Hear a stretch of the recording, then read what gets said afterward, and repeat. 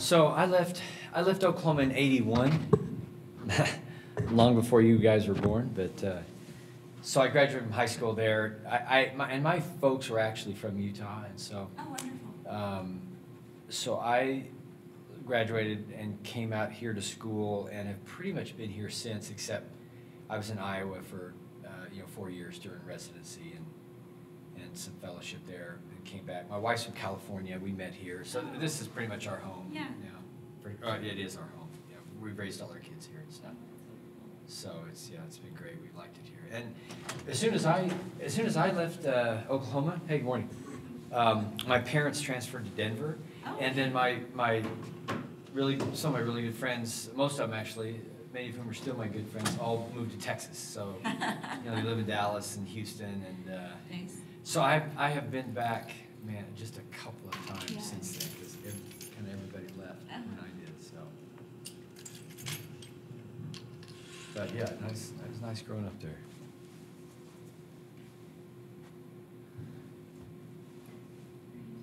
Well, it's seven o'clock.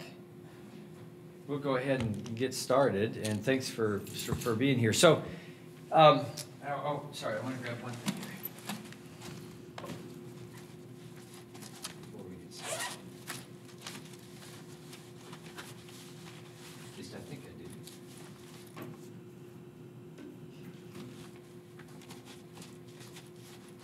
So, so today we're going to talk about, um, you know, optic nerve, which is uh, in glaucoma. I mean, bread and butter, right? That's what we're, we're all about is uh, protecting the optic nerve. And um, so hopefully we can just talk about some things that'll be interesting to you and helpful, especially as you go in the clinic. And um, so first off, there are just some kind of fun facts about optic nerve that you'll probably need to know at some point, like on OKAPs and, and things like that. And uh, so who's, any of you taken OKAPs yet? Yeah, you have. How many times you've taken it? Once. Yeah. Can you remember by chance any questions at all that might have been optic nerve related on? now. Oh, maybe like- caps? Maybe like th- three days after the test, but Yeah. uh, after that, it just kind of goes away. Yeah, it's just kind of a, a, a, It's hard. a fog after that. Yeah, no, OKAP's hard. It's hard test. to The glaucoma out. section in OKAPS is kind of varies from what I can tell, but uh, it's usually reasonable, but always they find some difficult questions, you know, for all the subjects. But um, so when I did my um, uh, board recertification, which I've done a couple of times, there are almost always a couple of little fun facts about uh, optic nerve. One of them, of you know, like if, if I were to say how many, you know, nerve fiber, how many nerve fibers are, you know, constitute the, the optic nerve? Do you have any idea what that number might be? Two to There you go. That, that's the number that's been thrown around for as long as I've been, you know, since I was a resident. 1.2 million axons, okay? And these axons are, um, see if I can get this to go forward. Uh, axons are, hmm, hang on a second. The Oh, there we go. Yeah, 1.2 million axons, and they are uh, kind of bundled into about a thousand fascicles in the optic nerve. And so this is a picture that is kind of, uh, uh, you know, been tossed around for a long time. It's right out of the BCS series, but um, 1.2 million axons, a thousand fascicles, kind of separated by connective tissue in the optic nerve. Another kind of little fun fact is how much, if, if you're looking at detecting on a visual field, uh, what's the kind of the traditional teaching about how many of these nerve fibers can be lost before it's detectable on a visual field? Any idea what that number is? Yeah, it's like fifty percent. So that's another number to remember. Now, that's like a an extraordinary number. Now, it's probably overstated because the study that was done, the landmark study that was done, which was done by Harry Quigley, you know, the Wilmer guy, when he was a young, young uh, faculty member, and basically he, you know, counted uh, nerve fibers in cadaveric eyes, you know, kind of using a, a process that they, they did to try to estimate how many there were, and then and then comparing those to the most or the last visual field that that patient had, and of course it was just on a few patients. You could imagine it's like four or five patients, and the perimetry was actually Goldmann perimetry, which is not as sensitive as Humphrey and, and certainly not as sensitive as some of the newer perimeters. So that's probably overstated, but the point is, is that you can lose a lot of these nerve fibers before you detect it on a visual field, okay? So that's where OCT and that kind of stuff comes in that, that hopefully is giving us a little earlier detection. What about the types of cells uh, in the, the retina? There's a clue right there. Any, what, how, what types of cells are there and kind of what do they do? We can look up there. M and P, does that sound familiar at all? M and P cells, and, and th- that's relevant. Uh, it's clinically relevant because it's important to kind of know what we're testing when we do a visual field, okay? And a lot of the other perimeters that are out there are designed to try to specifically test one of these cell types, okay? So the P cells are by far the most numerous. They're the smaller diameter axons, and they also have a smaller receptive field, okay? So, you know, the, these axons, they, they all have what they call a receptive field, and P cells, they're smaller. And these are the cells that are sensitive more to color and fine detail, okay? Macula has a lot of P cells, for example, all right? The M cells are fewer in number, and they have larger diameter, and they have a much larger um, field that they cover, okay, the receptive field. And there's a statement there, okay, so they may be more susceptible to glaucoma damage. Well, why is that? Well, the M cells tend to be congregated in the poles of the optic nerve, okay? And, you know, that's where we see cupping, right? We see oftentimes that, that vertical cupping of the optic nerve in glaucoma. And so there's some thought, well, maybe these M cells, since they populate that area, are the ones that are the more sensitive. And these particular uh, cells are more for like motion and spatial relationship rather than fine detail. The reality is probably, though, that the reason they show damage first is that there's just fewer of them. So it's this idea of reduced redundancy. There are all these P cells, and the P cells have these overlapping fields, okay? And um, there's so many of them that you can lose a lot of P cells before you can detect that uh, with any perimetry. Does that make sense? Whereas the larger M cells, they don't overlap nearly as much. So when one of them dies off, it kind of tends to make a, a blank area in the retina, right, that you can detect with a visual field. So, so it might be that there's just this reduced redundancy, and that's why they're, uh, they're more tested. Now, another set, so when you're looking at perimeters, you know, the Humphrey perimeter tests a lot of P cells, okay? Some of the other perimeters, like, like uh, frequency doubling technology, some of the motion detecting visual fields, those are designed specifically to try to test for M cells where, um, you know, by motion and whatnot, with the idea being that we might be able to detect damage in those first because there are fewer of them and they don't have this field redundancy. Now, there's another set, which are these bistratified cells, the coniocellular, and they are color sensitive and they process blue yellow. And so you've heard of SWAP perimetry, right? Shortwave automated, short wavelength automated perimetry, blue on yellow familiar with that? Does that ring a bell? Have any of you ever taken a swap visual field? It's torture, let me tell you. So, just as a side note, all of you ought to take a visual field if you haven't yet, okay? Just just take one and realize what you're asking your patient to do. It's like I say, we don't make any friends make you know having people do these visual fields, but it's still the gold standard of following glaucoma, okay?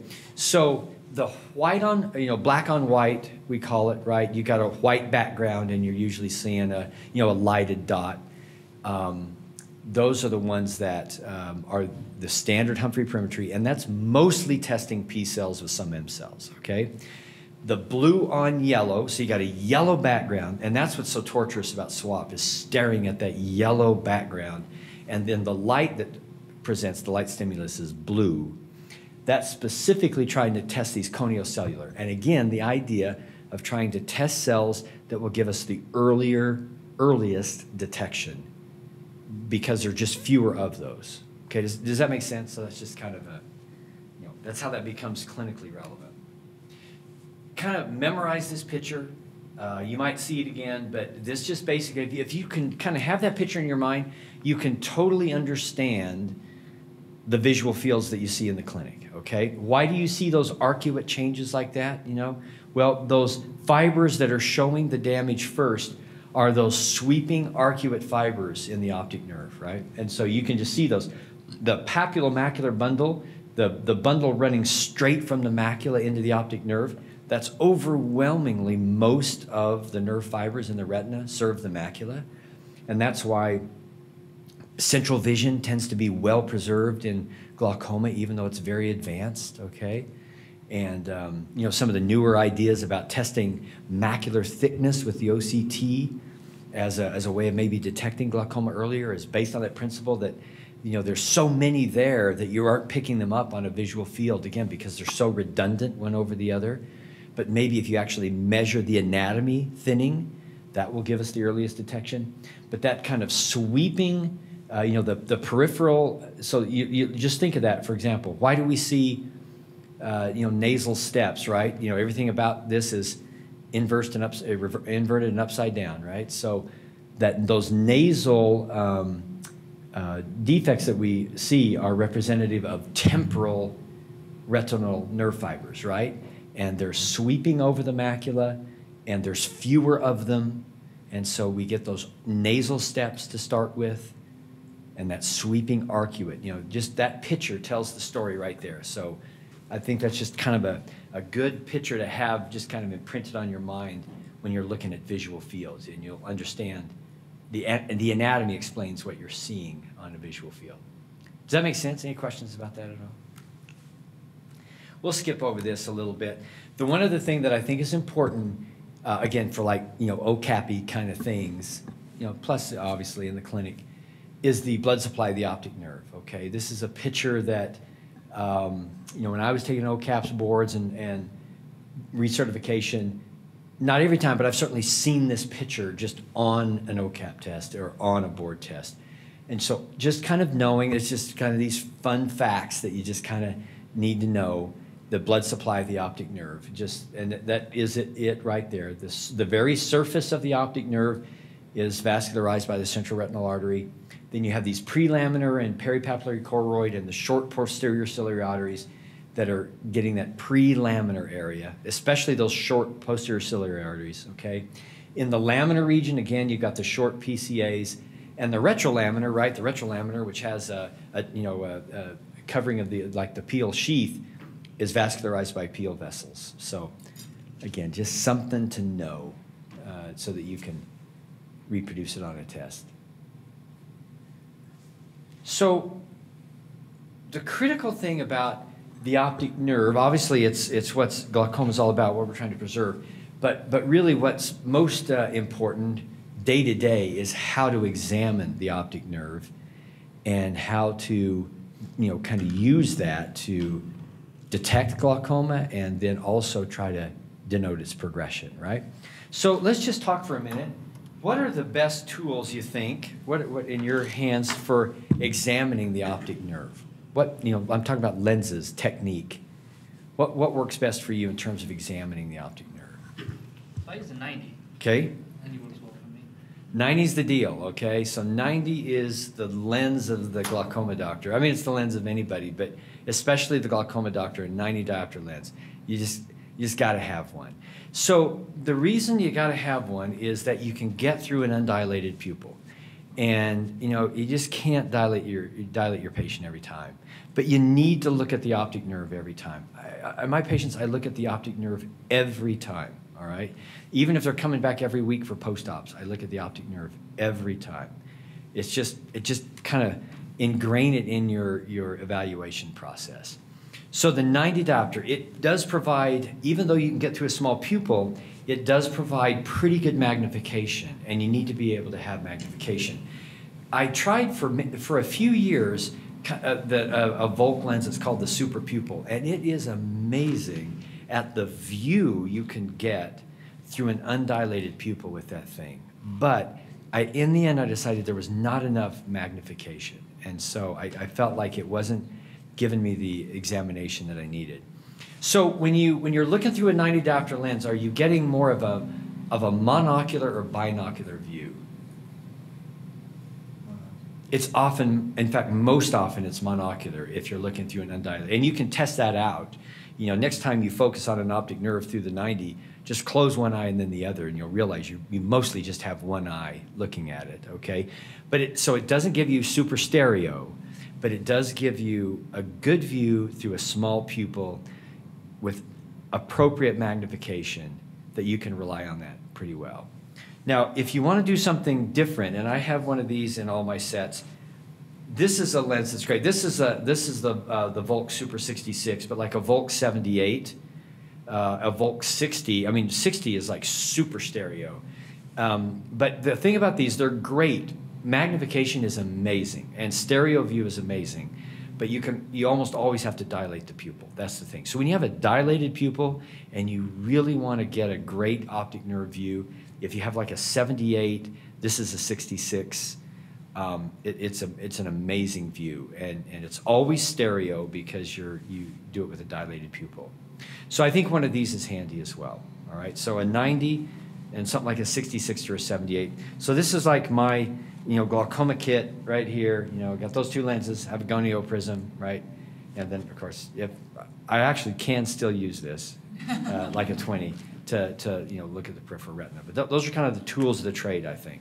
So with the, the, those lenses, and, uh, and let's let's uh, kind of look at some optic nerve. So I think the key to examining an optic nerve is to have just a routine in your mind about how you do it. Okay. So what are, what are the important things to look at in evaluating an optic nerve? What, what are the things that you're thinking of that that you want to kind of check off when you're looking at the optic nerve?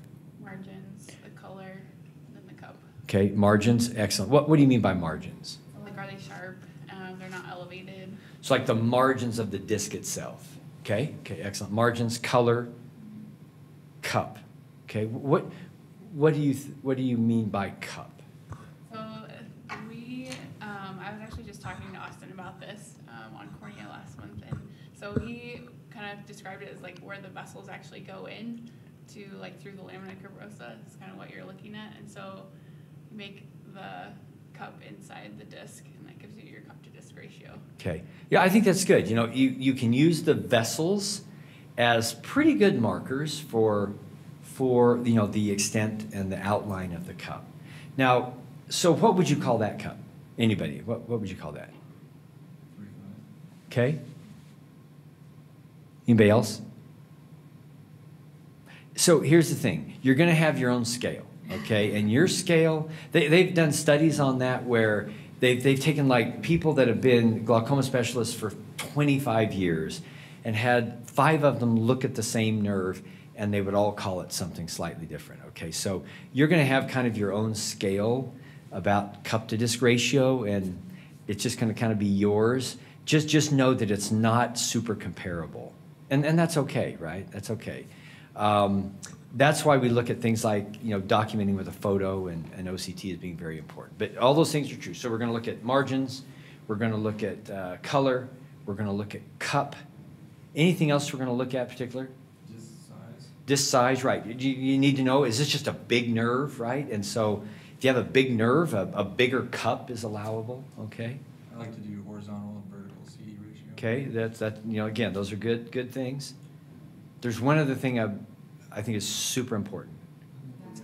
The rim. That's right. You know, so I, I really think that when you're examining an optic nerve, you, those are the things you check off, and so you just kind of have a, uh, you know, a, a, it comes becomes kind of a gestalty thing, right? You're going to look at that nerve, and you're just going to automatically, you know, just look at the disc. Is it big or small? Are the are the margins clear? And then you're going to look at the cup. And then you're going to look. I mean, for 360 degrees, you're going to look at that rim. The rim is really what tells the story. Okay, uh, and we're going to show some pictures of that, but in glaucoma, the rim tells the story really about whether or not it's glaucoma. Um, you know, sometimes it, sometimes an optic nerve is just going to concentrically enlarge in glaucoma, but more often, at least in my experience, you're going to see focal thinning. When you're talking about real glaucoma, you're going to see focal thinning before you see kind of, excuse me, concentric enlargement. Does that make sense? And I'll show you some pictures. So examining that rim for 360 degrees is really important. And so just kind of have that checklist in your mind. So normal optic nerve, great. You know, we'd love all, all the optic nerves to look just like this. What do you think of this one? What's that? 0.5? Okay. Any other comments? Um, the vessels are hugging the rim, Yeah, they are, right? Just a little bit. It's kind of a deep cup, isn't it? A little deep. Just, just uh, you know, from from this view, normal or abnormal? What do you think of the rim? A little bit. Maybe a bit. Overall, pretty healthy. You know, I think. I think this is a so. So, would you work this nerve up? And when I use the word work up, I mean you know get an OCT, get a visual field. What if? So here's I don't know if any of you um, heard heard my talk the other day here, but I, I talked about how that second study of the OHTS, which is a super important paper, like I say, it's a real slog to get through, tons of statistics. But uh, the second oat, OHTS 2, it's called. You know what I mean by OHTS, Ocular Hypertension Treatment Study. Kind of looked at this, and this is the one where if you uh, talking about treating people, you know, this treat to treat to cure, like, which is kind of a cancer vernacular, that in the low risk category, you would have to treat 90 patients to keep one from getting to glaucoma. But if you put them in the high risk category, it's seven to one. I mean, you know, what a difference that stratification is. What are the things that allow, what were the other factors? So, uh, you know, this, this could be totally normal. You know, that nerve could be totally normal. It also could be early glaucoma, maybe. What would be the things that, the other things, what are the other parameters that might put this into the higher risk category? Thin corneas. Thin corneas. And that is the, the great one right there. If you look at the OHTS, OHTS study, and, and we, you know, we, we think we are grateful to just a couple of people who, when the oat study was being done and all the patients were already recruited, and the, these couple of people, one of them being Jamie Brandt out at uh, Davis, who said, We have got to measure the corneal pachymetry on these people. So they went back and measured pachymetry on all the patients. And lo and behold, pachymetry turned out to be the number one predictor of whether or not they got glaucoma, more than pressure. So if this person right here with that optic nerve had, what are the other parameters? So cup to disc ratio is one. What are the, the pachymetry is another that goes into that risk calculator. What's another? Age. Race, Not exactly. I mean, good, good, good thought, but it's not in the actual numbers of the OHTS. What's that? Again, not, not exact, gr- very important, but not exactly. So there's age, cup to disc ratio, pachymetry, and pressure, right? What their pressure is. And then the other added parameter is the initial mean deviation on a visual field once you get it. So if you see that optic nerve and thinking of those things, what might make you go ahead and get an OCT or a visual field on that patient? If they had what? High, if they had high, if their pressure were 28, absolutely, you'd be working them up. If it were 19, maybe not. But the big E is pachymetry, right? So that would be a, that's a patient right there that I would say nerve looks like that. They ought to at least get pachymetry. Okay, so they need their pressure measured, of course, and get a pachymetry. So if that patient right there had pachymetry of 500 and or a pressure of 26, I would study them. On the other hand, if that person had a pressure of 18 and a, Uh, a pachymetry of 600, I'd probably just follow them, you know, without working them up. So those are the kind of decisions that you can use. That OHTS study is so powerful in that regard of kind of stratifying risk when you've got one. So basically what you've got here is you've got one factor that might make you a little suspicious about glaucoma, and that is they've got a bigger cup to disc ratio than you might see on most patients. Does that make sense? But chances are that nerve's going to be normal, I would say. But if they had some of those other risk factors, I would get some baseline studies for sure. How about that optic nerve right there?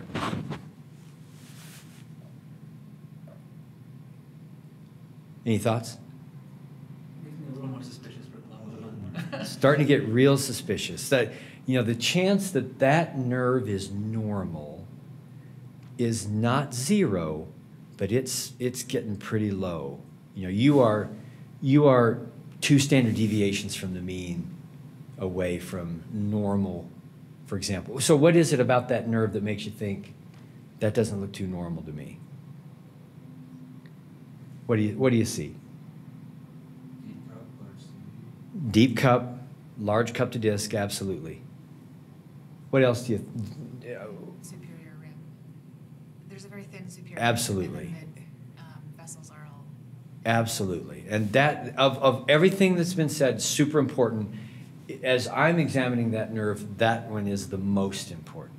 That superior rim, that is definitely thin. So, you're going to work that patient up? That's a patient you're going to work up, and by work up, I mean you get your glaucoma studies, regardless of what their pressure is, regardless of what their pachymetry might be. You know what I'm saying?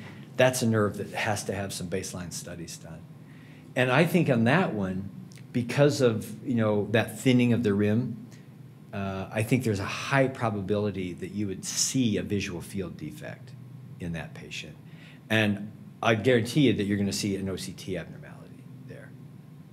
And that's, uh, you know, we could talk about, uh, you know, those things. I know you have like uh, visual field lectures, and do you have an OCT lecture? Ever? I know I did the visual field for years, but I think someone else is doing that now. But anyway, so you know, OCT and visual fields, um, visual field is still the gold standard, but th- these these these kind of initial patients that come in, excuse me, come into your clinic, and you're kind of deciding on is that is that a normal nerve or not? That's when the OCT, in my opinion, has its most power. Is in those early phases where you're really trying to say, is this nerve normal? The further you go, and, and any of you, you know, in, in my clinic, I have a ton of super advanced patients. The more advanced the patient gets, the less helpful OCT becomes. Okay? But early on, something like this, that patient just walked into your clinic, you're going to work that patient up. OCT is super helpful in those kind of initial, when you've still got some nerve to measure and you've got that focal thinning, I, I bet that OCT would just pick that out like crazy, you know, with that real focal thinning superiorly. But that's enough that I think you'd see a visual field defect too. So big cup, deep, definite thinning, that, that's a nerve you got to work up, okay? Very good. Any questions about that? All right, let's look at some others. What do you think of that one? If you just look at that, what do you think that person's refractive error is?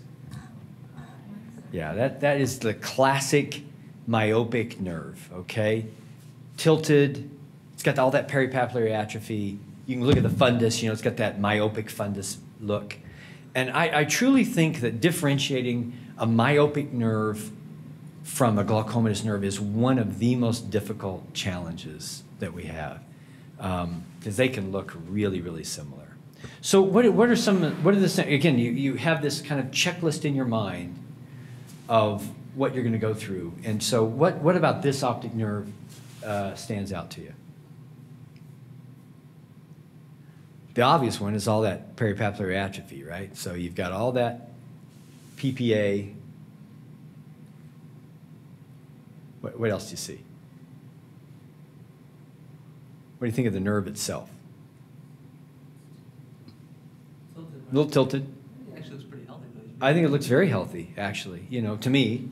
Um, and the, the point of this slide is just to say that sometimes you can see a really normal optic nerve surrounded by a bunch of stuff that doesn't look very normal, okay? But so in this one, we, the idea is to not get distracted by all the myopic change and focus in on the nerve and kind of go through your same checklist of things on the nerve, right? It's got good margins.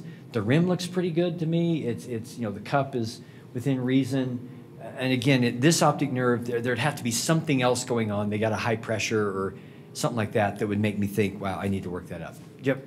Yeah, I have two clarifying questions. One is, how are you estimating the depth when you're looking at these pictures the? Yeah. Um, it's mostly by color. You know, obviously we don't have a stereo view here, so it's mostly by color and uh, whether or not you can see actually the lamina. You know, sometimes you can see in a really deep cup, you can actually see those connective tissue separators of the, uh, of the lamina cribrosa. Now, that would be a really deep cup. But this one is just, we say deep just based on kind of the color, and you can kind of see, in that one, you can just kind of see, just barely, a little bit of that kind of grayish lamina in the bottom of the cup. Can you see what I'm talking about? There's just kind of those gray little speckles. And that's kind of the top of the cup. I, you know, I, I, we could be hallucinating, but, but it is um, sort of there. And then also the book describes two kinds of peripapular atrophy, like one concerning for glaucoma and one looking more like myopic eye. Yeah. I, I'm not sure I understand the difference. Yeah, and, and I, yeah, that's, they call it zone, you know, they have that zone one. And in my mind, the zone one is the, the zone right next to the optic nerve. That, that's my very simplistic way of thinking of peripapillary atrophy and this zone one. There's this uh, German fellow who is the one that's kind of championed that idea of this zone one peripapillary atrophy as being a marker for glaucoma. And so this, if I were to say, uh, I don't have a pointer, but if I were to say here on this one that zone one would be that darker rim of peripapillary, peripapular atrophy that is right next to the optic nerve. And then the kind of lighter area that extends out beyond that, and you can kind of see that boundary there, that would be zone two.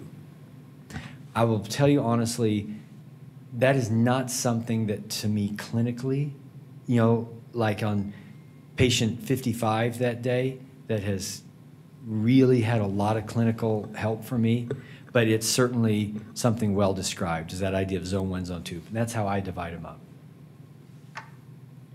Okay, very good. How about this optic nerve?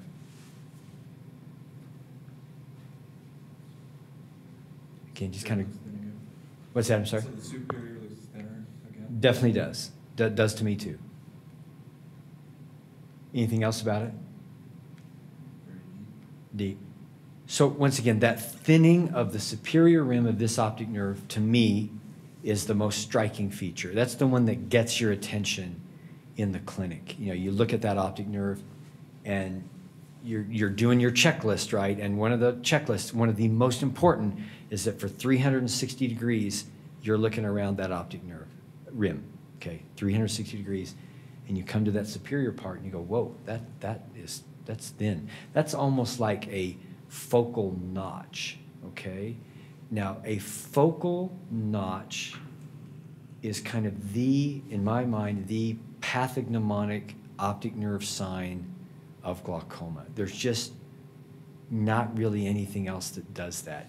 In uh, studies that have been done that have looked at optic nerves, that some of which are, you know, you know, many, many optic nerves, some of them that went on to have other diagnoses, you know, like a, a optic nerve tumor or something like that, right? Masquerading.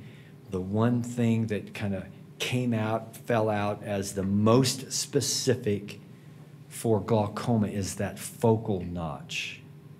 Number two is probably disc hemorrhage, classic disc hemorrhage, okay? So when you're kind of looking at optic nerve and wondering, do I need to, is this like something else? Uh, that if you can see that focal notch, that you can pretty much hang your hat on that, that that is glaucoma, okay? And that's kind of getting to be a pretty focal notch right there, all right? And again, that's a patient you're going to work up for sure, right? And almost, almost for sure, you're for sure you're going to see that on an OCT. And why do I say that? Well, because you've got all that measurable inferior rim that's going to get measured and then compared, right? So you're going to see on an OCT, you're going to see a focal defect there, right? And that's probably enough of a notch that I bet you're going to see that on visual field as well. So I bet both come up positive uh, for findings in, in this optic nerve. All right, let's look at some others. How about that one? Big. I mean, it's a big disc. That's a really big cup. Anything else about it? All the rims are very s- Yeah, so here, here's an example of just concentric, in, in, in my view, pretty concentric enlargement of the cup without um, much notching, okay? So what if that patient here, I mean, we're- probably gonna work that out, aren't we? That's a nerve that you're probably not, not gonna let walk out of your clinic without getting something done, okay? So we're at minimum gonna get an OCT and a visual field. And that's probably one that I would have a little suspicion of that. What if, th- what if that person right there, um, what if that person has a pressure of 15 and pretty, you know, normal pachymetry? And you get their studies back and they're a little bit equivocal. You know, that doesn't, you know, that doesn't really look like a glaucoma field or kind of just diffuse loss on the OCT, for example. Yeah, that, that, that's a, that's an oddish looking nerve. Uh, and I, um, yeah, I think if you were to, if that, if that patient came in with a pressure of 15 and normal pachymetry, not a family history, um, you know, that might be one to have a low threshold to think about working up, that with that kind of concentric enlargement like that. And we're, we'll talk about that again here in a little bit. Let me make sure I'm not running over time. More of the same. Any thoughts on this one? What's that? Huge notch. Big notch. You see anything else? Can any of you see in that photo that kind of nerve fiber layer defect? I can see it better on my screen than you can up there. But there is that little, I'll, we'll show a better example in a minute. There's that little band of slightly darker retina extending from that notch in that arcuate fashion. I think you can use your mouse to point to. Can I do that? Right here. There's the inferior border of it, and here's the superior border of it. Can you see that? Oh, okay. Can I do it up here? Uh, I can't. But anyway, this, I'll show you another picture, but it's, that inferior border is like right up there. If I were taller, I could show you. I'll show you a different picture. Looking at nerve fiber layer defects again is, I think, really hard to do in the clinic. But sometimes you catch it on a photo, and it's just another marker of a focal defect. Usually, though, the reason it's not as important in my mind is usually the nerve has already told the story. Okay, but you hear a lot about you know taking red-free photographs and looking at layer defects. Again, usually the optic nerve has told the story. This is classic glaucoma, focal notch, big cup. All your testing will be done. Now here is some zone one peripapillary atrophy. See that right there? That would be more glaucomatous than myopic, in my opinion, right there. Okay.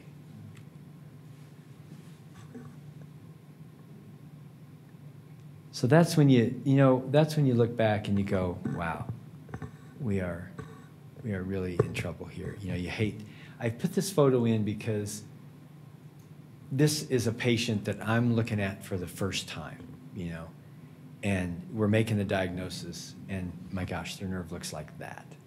That that's really a that's a sad day, you know, because you're so far down the line that you're just you're just in the trying to hang on game from the first moment you meet them. So that's that's a bad bad nerve right there. But sometimes that that's just an example of end stage glaucoma. So how are you going to follow that nerve right there? Yeah, yeah. It just in general, your only way to follow them is a visual field. I mean, OCT would give you no information, and I would tell you that at that point, even clinical examination, you you just can't differentiate change. And so, visual field, 10-2, size 5 target, you know, whatever it takes. But honestly, in, in eyes like this, what the patient says is really important because you're just grabbing at things to try to monitor them with. And so if they come in and they say, I just really feel like my vision has worsened over the past, you know, four months or whatever, you just you just have to believe them in that case and, and just say, okay, you know, that's as that becomes as good as a visual field in my mind when disease gets this advanced. All right. Now there is a nerve fiber layer defect. Can you see that right there? that wedge coming down from that inferior notch. Okay, so again, that's great and that's really cool if you catch it on a photograph. Chances, your chance of seeing that in the clinic with a 90 diopter lens is, is low because you just can't get that big wide panoramic view. But again, the nerve has already told you the story. You know, you can see that notch right there. But that is a good example of a nerve fiber layer defect. And then I have one other high mag view. Again, you've got that notch inferiorly, and then you've got that wedge of discoloration of the retina extending from that. Can you see that there, what I'm talking about? So just nerve fiber layer. But again, now see, now this is a nerve that is, that's just such a classic glaucoma nerve right there. Because you got a lot of healthy rim, but then boom, you're looking at that inferior thing, see what I'm talking about? And then just, there's that notch right there. There's types of retina that makes these really hard to see, like, sometimes when I look at a tigroid fundus. Yeah, like- you bet. I I mean, a lot of it depends on background, you know, what their kind of background pigmentation is and things like that. Okay, now, the obvious thing. So it looks really obvious, right? There it is, boom. But in all of the studies, all of the big glaucoma studies have been done where there have been reading centers, and that would be OHTS, normal tension glaucoma, AGIS, you know, all those major studies where the reading centers, the number one missed finding, disc hemorrhage. The number one by far. And most of the people in the clinic looking at these nerves are, you know, glaucoma specialists. They've looked at thousands and thousands of optic nerves but it's the number one missed finding uh, is didn't didn't put down didn't detect a disc hemorrhage on that day there's a classic disc hemorrhage if by chance you see one that is really really specific for glaucoma okay now the thing about it though is that a disc hemorrhage can look you know they're all, they can be very different this, this one could not be more classic right it extends off the disc margin it's that kind of flame-shaped hemorrhage. All, you know, all the descriptives that you hear about, you know, there it is. So that's a great example. But just to show a few others, spot the one here, right? Everybody see that? Everybody see the one I'm talking about? Down inferiorly there. Runs along a vessel. Those are the hardest ones to detect, the ones that run right along a vessel and, they, and you, you kind of think that's just part of the vessel or maybe a vessel, but like this one, it runs right along the side. Now notice this one is in a already existing notch, right? That inferior rim is thinner than the superior, agree? And, and there's the disc hemorrhage, and that's common that you're gonna see disc hemorrhages in previous areas of notch or you see a disc hemorrhage and then it, they come back three or four months later and there's a notch there. I've seen that many times before.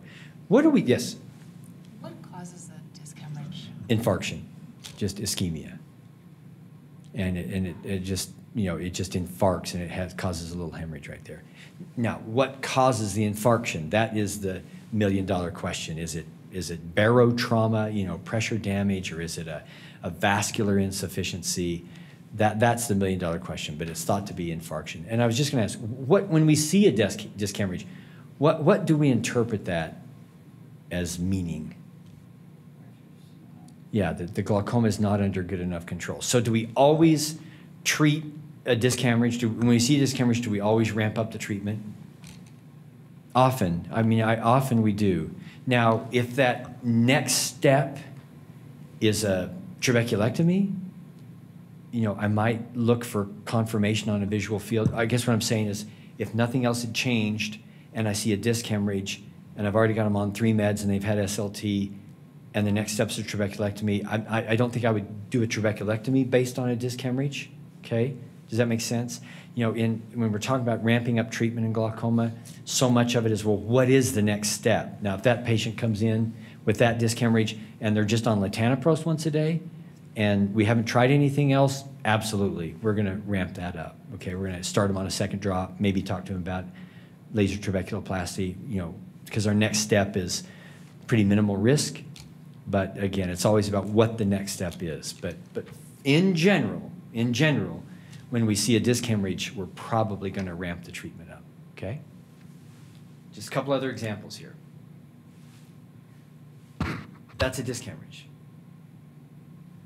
looks very different, doesn't it? But it is. We would interpret that as a disc hemorrhage. Everybody see what I'm talking about there? Just that blush of hemorrhage. It's actually down in the cup, down inferiorly there.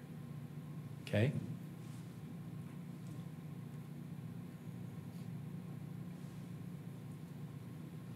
You spot that one? Okay. So what if this patient had like a less suspicious nerve and they also had diabetes? And they had dot blood hemorrhages everywhere else? I'd watch it. The classic disc hemorrhage will go away. Now, I realize some diabetic hemorrhages can go away as well. But if this had an otherwise more normal nerve, normal pressure, diabetic with diabetic retinopathy, um, you know, yeah, I might, I might watch that. I might not just assume right off, oh, you, yeah, you also have glaucoma, if all the other parameters were pretty normal. But, but in this setting with that nerve, that's a disc hemorrhage.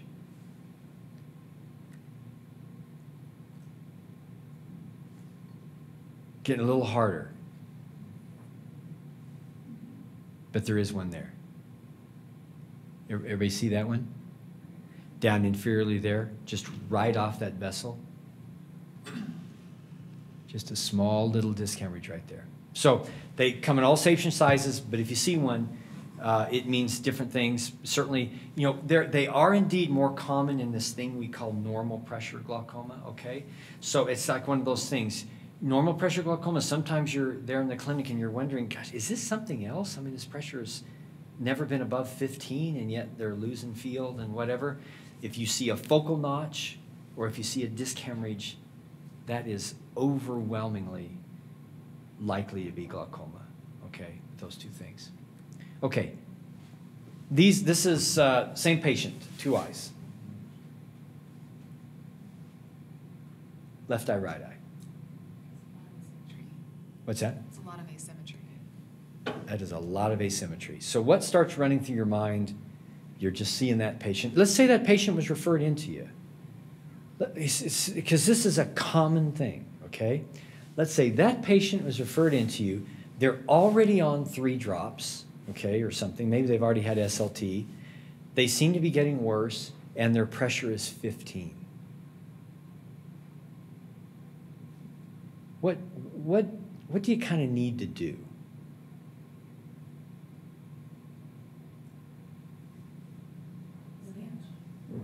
scan them. So exactly. So you're on that that course. This is that needs to be explained. That kind of asymmetry needs to be explained. So here's the first thing I do in this setting. Okay, they're already being treated, right? So the first thing I've got to do is I've got to go back through the notes, get old notes, and if I find that because this is you know sometimes you don't get this information at first you have to go dig for it. You, you've got to you've got to explain that.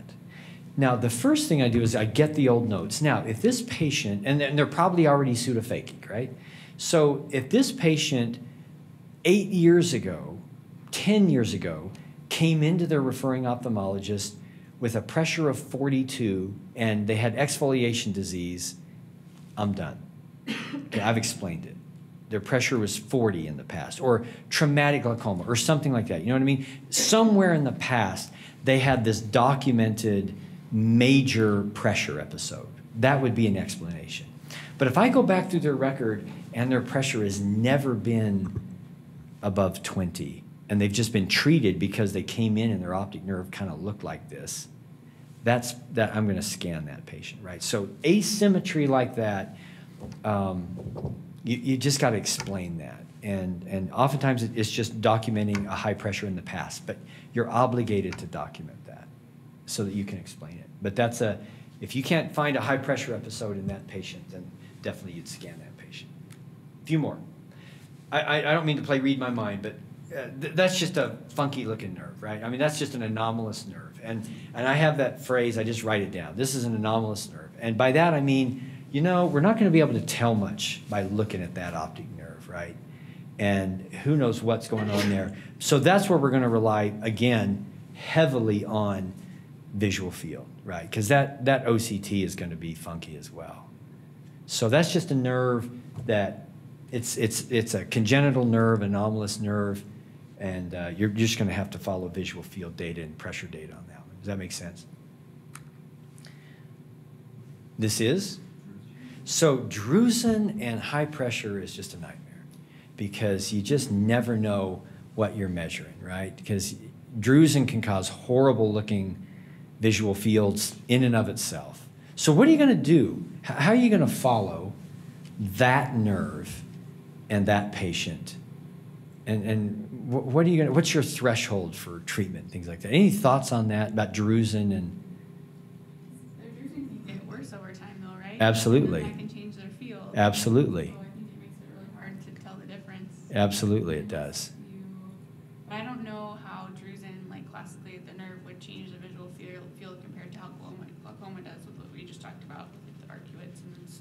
It, they can look e- extraordinarily similar.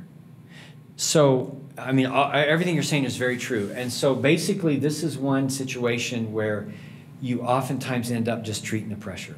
You know, I, I you know, if that if that patient walked into my clinic, me, and and this is my my opinion, and had a pressure of above 22, I'd treat him.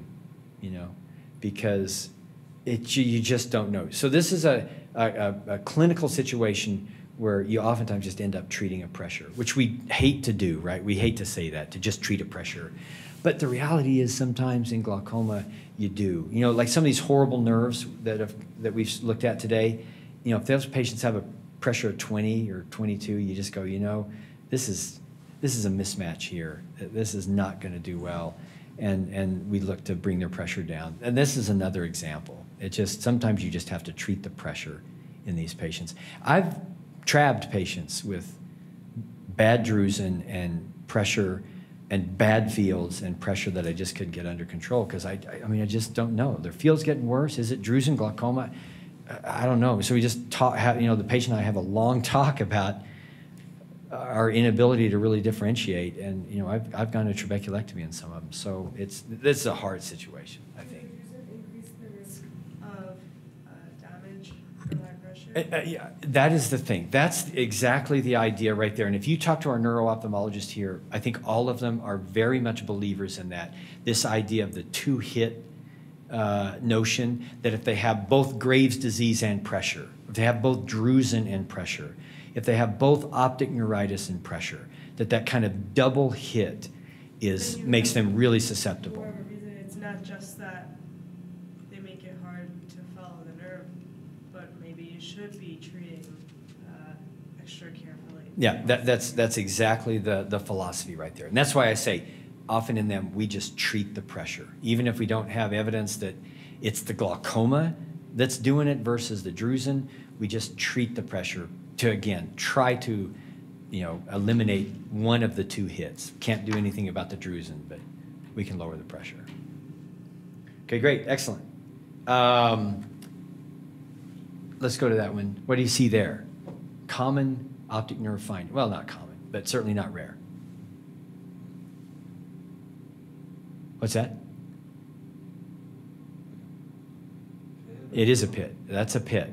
Pit can be congenital, can be acquired. I mean, you can get a pit from glaucoma, and I've got lots of patients over the years that have have an acquired pit that um, you can see develop. So that's just another. That can be a, a sign for sure of pretty advanced glaucoma is the development of a pit, but they can also just be uh, you know congenital. So I, I, again, it's just another thing that makes it a little difficult to follow when they have a pit, unless you have documented in your own kind of record the uh, that they acquired that pit over the advancement of their glaucoma. But a congenital pit's kind of hard to interpret. Again, this is just kind of few pictures that make things difficult. And then here's a, a nerve. I, I know you can't see it in stereo, but um, this is when you talked about margins. So this is one where the you know, the margins are a little blurred there, right? And you got that peripapillary atrophy, and that's kind of a junky nerve to try to follow as well. And you know, are they are they enough to are those nerves blurred enough that you'd scan that patient? Well, you know, maybe.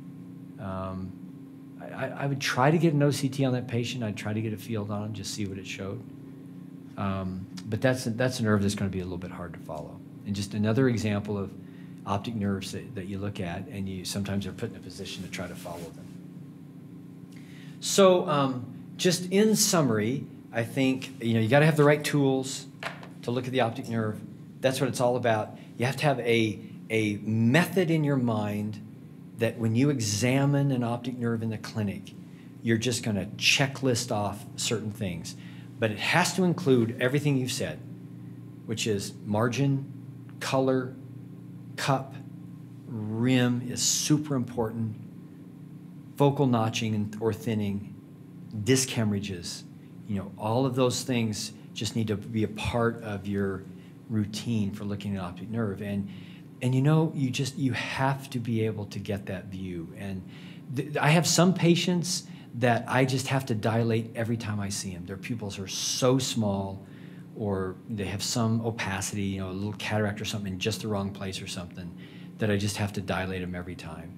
And I, you know, that's just that's just the way it is. And they know that. Um, but you have to be able to evaluate the nerve. Taking a photograph with the, of the optic nerve at, at some point early on is indispensable. And I should take more pictures. Uh, there's a couple of things that, there's a logistical thing in that you can't, just saying, you can't bill for a photo and an OCT on the same day. So you have to split those up. But to have a baseline photo, I don't take, I don't much take photos every year. Some people do. But I I mostly just get a baseline one and then use that as, you know, to follow. But to have a photograph is just really an important thing to do early on, okay? OCT, great, especially early. It gets less helpful late. And the longitudinal use of OCT, i- uh, you know, we wish it were better. That's been studied for several years now, and there's, you know, there- there's gazillion dollar grant out there to study longitudinal OCT, and so far it's kind of come up with not much. So I think again, to in that early detection is where OCT has the most power, and the more advanced the disease gets, the less helpful it becomes. I still get a lot of OCTs, even serial OCTs. I don't make tons of treatment decisions on an OCT change. And if I don't see an OCT change of at least 10 microns, I think that's the same. That's kind of my, my scale, about 10 microns. That's more just global, yeah, looking at that global thickness. But the same, looking for focal changes, you know. It, it, but it's got to be uh, like a three micron, five micron change on OCT. Yeah, that's just that's just uh, noise, you know, to, to me. Also, just one last thing on an OCT, when you're looking at using it for optic nerves, anything that takes that OCT to zero is almost always an artifact. So, you know, when you're looking at an OCT and you see it dipping down to zero in one or more places, sometimes it's just the whole thing is dipping down to zero, you know what I mean? It's just, you got to throw that out. That is inadequate. And, uh, you know, don't even use that to interpret, okay? And there's some eyes you just can't get an OCT, and I've, I've, I, I write up in that little specialty comments box, no more OCTs, because it just doesn't work in that patient.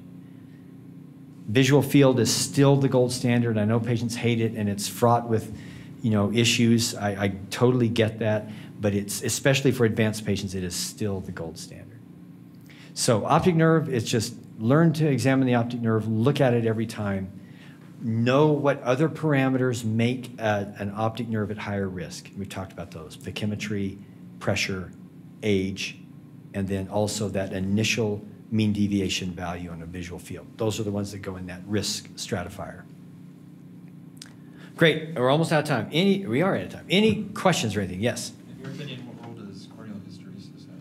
Uh, unde- undetermined. I mean, it's it's it's real, and there are studies out uh, on it. Um, but I think it's, you know, it's it's it's one of those things that it, it it's not hundred percent defined. Um, I don't I don't have a machine up here. I'm not clamoring to get one. Um, pachymetry indispensable, indispensable. Hysteresis, kind of an emerging, you know, technology that we'll see how it goes. Certainly, like anything, it has its, you know, evangelicals about its importance, but it hasn't certainly doesn't match up to pachymetry because it just doesn't have the data to to back it up. Speaking of other technologies, do you ever get VEPs and does that have any role in determining the etiology or? You say VEPs? VEPs, yeah. I don't, but again, you know, eh, focal ERG people, VEP, they're they're. Uh, well, I, I guess I shouldn't say never. I mean, I, I do in certain circumstances. like I do in uh, patients I can't communicate with. Like we get a lot of them in kids, get a lot of them in uh, you know nonverbal patients for whatever reason. Absolutely in that setting. But it's just far as like the you know the bread and butter following a communicative patient in the clinic VEPs for me very few. Same with focal ERGs. But again, you can absolutely find the advocates out there for those things. Um, I, you know, I think this kind of macular thinness is probably of all the things that we've mentioned here, that's probably the one that is emerging the most as far as being a. That's probably going to be a pretty helpful tool. Um, is those macular thickness maps as a as a sign and detector of glaucoma.